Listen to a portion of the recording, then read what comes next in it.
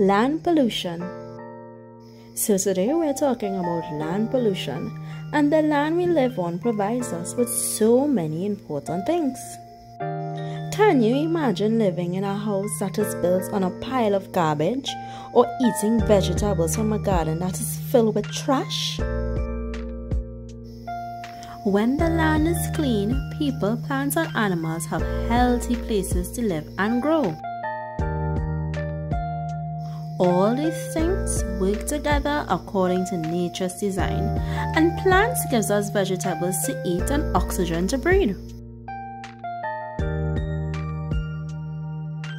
When nature is clean and clear of garbage, we can enjoy its beauty.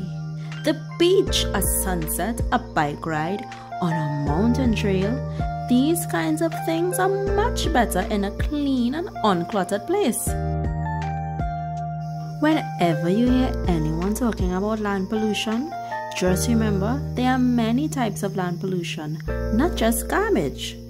So there's solid waste, pesticides and fertilizers, chemicals, and deforestation. And all of these things are types of land pollution. Here's a picture of solid waste. Solid waste is basically garbage, trash.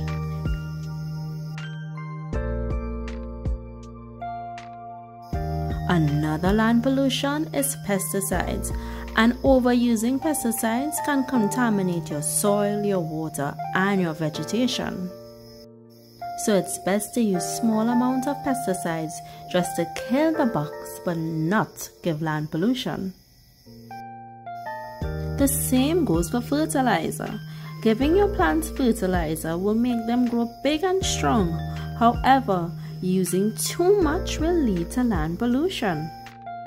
Using a lot of plant chemicals as well can also lead to land pollution.